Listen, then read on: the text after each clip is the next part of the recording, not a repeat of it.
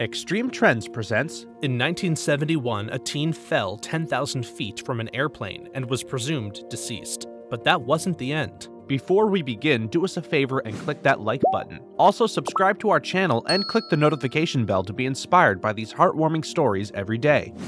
A lot of people board planes to travel. It has become a primary method of transportation, especially for extremely far places. Technology has brought people to an era where places hundreds and thousands of miles apart can be reached within a matter of hours. Of course, it would be inevitable for risks to happen, even when safety measures are reinforced. There have been instances of airplanes crashing due to all sorts of factors, and as a result, some people get scared of being on an airplane. Fear of flying, or aviophobia, is a relatively common phobia. It's not really the flying part that can give the sensation of fear, but the idea of a malfunction or whatever which could potentially cause the plane to go down, and eventually take the lives of its passengers. The fact is that flying is the safest way to travel. According to reports, there have been fewer incidents of accidents on airplanes compared to other means of transportation. It's true, but still, people lost their loved ones because of an airplane accident, and they wouldn't feel any different than those who have lost someone from a car crash or whatnot. With that being said, it would be truly unlucky to be part of such a tragic ordeal. Julianne Koepcke was an example.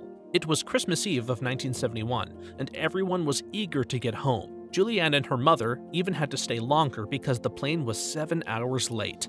Granted, the seven hour wait in a bustling pre Christmas, Hanukkah, and other winter holiday airport for a trip that itself usually only takes an hour in the air was definitely frustrating to some, at least before the flight took off. For Julianne and her ornithologist mother, Maria Koepcke, that frustration gave way to relief as they began boarding at 11 a.m. the morning of December 24, 1971, and they got themselves ready for their journey home. The flight would take the pair directly over the most remote parts of the Peruvian rainforest, an unforgiving region known for its extreme environments and dangerous animals. There, Julianne would be reunited with her father, world renowned zoologist, ornithologist, and herpetologist Hans Wilhelm Koepcke, for the Christmas break on the family's nature reserve. The trip was going to be the bookend to an eventful day for Julianne that saw her attending her high school graduation ceremony only hours earlier with her proud mother in the audience. Both of the Koepcke elders were stationed at a research outpost in the depths of the Amazon jungle, several hundred miles away from Julianne's school. Julianne spent part of her childhood with her parents surrounded by the wild dangers of the jungle,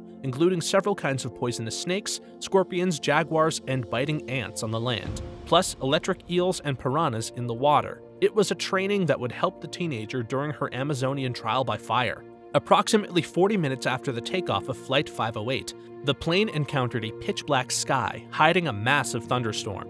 Constant cannon like thunders quickly enveloped the plane, and flashes of lightning briefly illuminated the worried faces of the people seeking out the rain pelted windows. Despite it being early afternoon, the dense clouds blocking out all signs of the sun made it seem as if the Koepcke's flight was in the air at midnight. One of those peeking faces belonged to Julianne, who, loving the distraction of looking outside whenever she flew, had claimed window seat 19F next to her mother in the second to last row of the plane. As Flight 508 continued into the heart of the storm, the plane began to shake violently. The atmosphere inside the cabin became different, with a dangerous mix of partially full drinking glasses, Christmas presents, and luggage pelting frightened passengers. It would be safe to say that at this point, some of the cabin's occupants were realizing their lives were possibly becoming at risk. As she looked out her window and across the plane's right wing, Julianne saw a brilliant wave of white light. What she did not know was that she was witnessing a fuel tank being hit by lightning, and the resulting explosion ripped the wing of the plane completely off. The plane nosedived, beyond the screams of terrified passengers, the majority of whom would no longer be alive within moments, and the thundering roar of the plane rocketing towards the jungle below. Julianne heard the final words her mother would ever say to her. There was a fear in Maria Koepcke's voice. Julianne did not know what to think or do, she just accepted the fact that they were about to possibly die.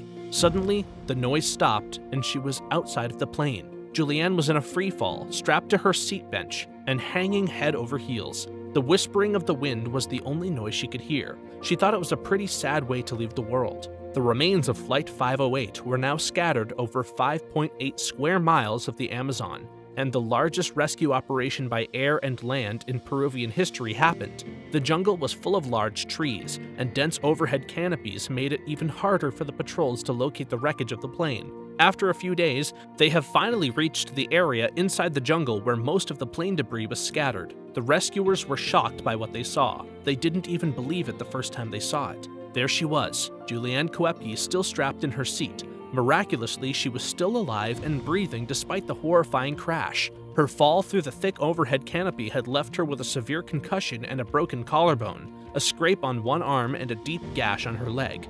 She was sent to a hospital in Pucallpa, Peru, where she was treated for her injuries. After a few days, Julianne, the lone survivor of LANSA Flight 508, was reunited with her father.